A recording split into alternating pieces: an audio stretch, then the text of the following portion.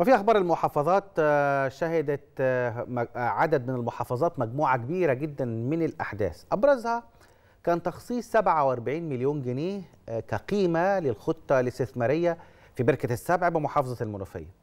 كمان كان في شون وصوامع البحيرة اللي استقبلت 82531 طن من محصول القمح لموسم الحصاد. في كمان في محافظة شمال سيناء هيتم افتتاح المسجد الكبير في الشيخ زويد وأخبار تانية من محافظات متعددة هنعرفها في سياق هذا التقرير.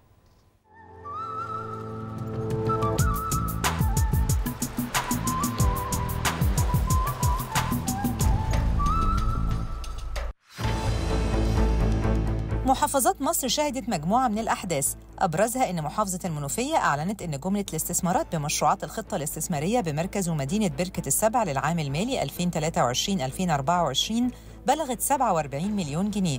تضمنت رصف وتطوير عدد من الطرق الرئيسية والفرعية وإنشاء أسواق ومواقف نموذجية جديدة وتدعيم الوحدات المحلية ودعم وصيانة منظومة الإنارة والحملة الميكانيكية للارتقاء بمستوى الخدمات المقدمة للمواطنين والمساهمة في تغيير واقعهم إلى الأفضل تماشياً مع أهداف ومحاور الجمهورية الجديدة ورؤية مصر 2030 محافظة البحيرة أكدت أن إجمالي ما تم توريده لشون وصوامع المحافظة بلغ 82531 طن من محصول القمح لموسم حصاد 2024 من إجمالي المساحة المنزرعة بالقمح لهذا العام واللي بتبلغ 290089 فدان من خلال 37 مركز تجميع بالمحافظة.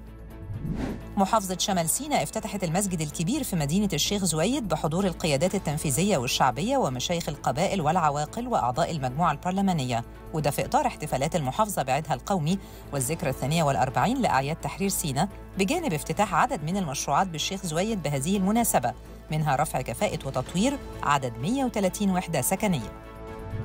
مديرية الأوقاف في محافظة الإسكندرية عقدت 63 مقرأة قرآنية للجمهور بمساجد الإسكندرية بإشراف ومتابعة شؤون القرآن الكريم بالمديرية في إطار سعي الوزارة لنشر الوعي والفكر الوسطي المستنير وتنشيط العمل الدعوي.